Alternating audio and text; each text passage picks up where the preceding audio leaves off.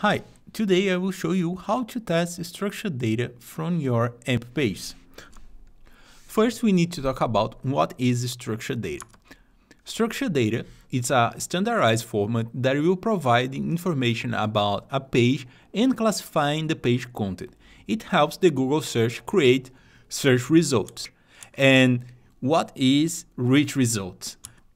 Rich results are experience on Google search that goes beyond to the standard blue link. And rich results can be included in carousels, images, or non-textual elements. So uh, some of the examples are, for example, events and bugs that you can see on the Google search, top stories, and how to test rich results.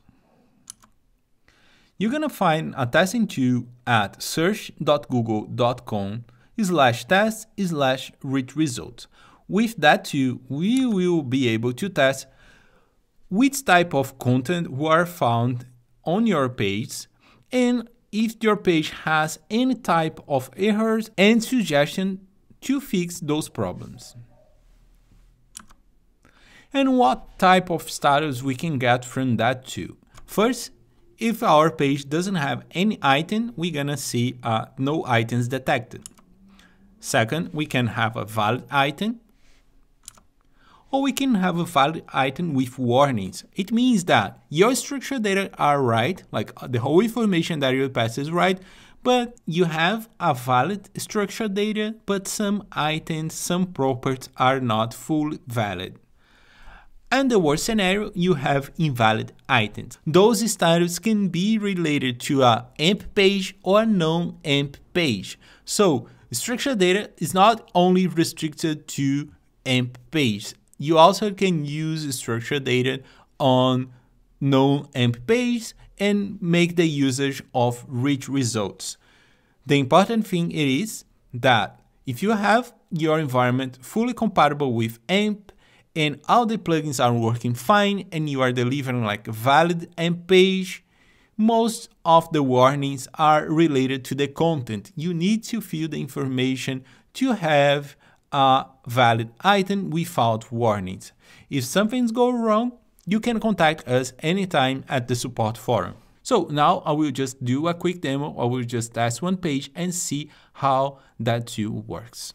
Here at search.google.com slash test slash rich results, I will see the input field that I can or choose by uh, address, a URL, or I can just copy and paste the code of my page. And with that, we just will add some item here that I will test.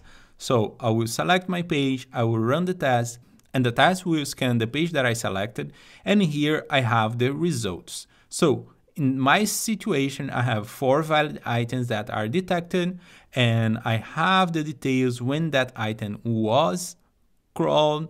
And here I can have more details about the items that are related to my page. So with that, I have the first overview over the structured data that are present on my website, I can click one of those items and get more details about that specific item.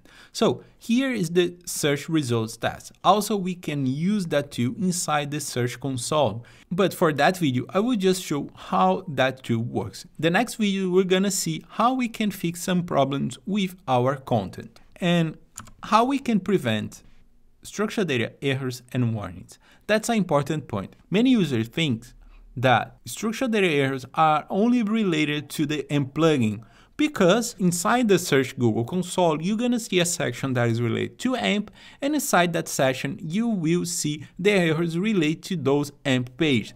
But most of the case, the information that is filled to the structured data is written by the content from your page. So pay attention to have all the information filled and all the content valid. And to know more about that, check the Google search documentation. There you're gonna find usable and valuable information to have your content shine on the search. And if you need any help, please contact us at the support forum. The link for the official support forum will be in the description. Thanks for watching and see you next time.